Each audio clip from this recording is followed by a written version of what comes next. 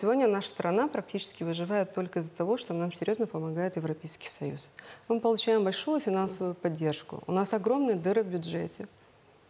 Но мы, к сожалению, с вами абсолютно не знаем, куда идут сегодня европейские деньги.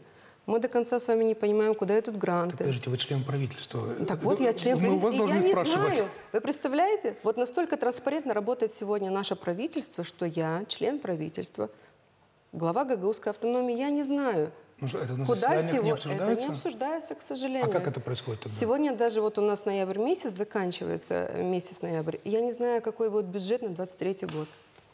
Вот вот члены правительства у себя в кабинете эту тему не обсуждают. Solicitată de Moldova 1, purtătoare de cuvânt a premierului Natalia Gavrilița, Anastasia Taburceanu, a declarat că acuzațiile aduse de Vlah sunt nefondate. Uh, Suportul care vine din partea donatorilor externi nu vine în bugetul de stat. Banii nu sunt în gestiunea guvernului.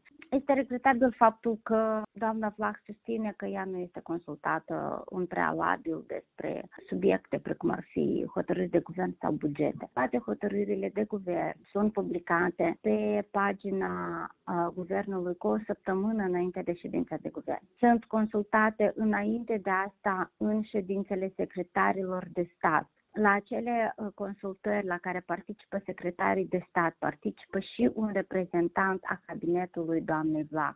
Anterior, conducerea de la Comrat a criticat executivul de la Chișinău că nu examinează propunerile bașcanului Irina Vlah, deși legislația prevede că toate inițiativele trebuie adresate ministerelor, iar acestea sunt examinate ulterior la ședințele secretarilor de stat, după care la ședința cabinetului de miniștri.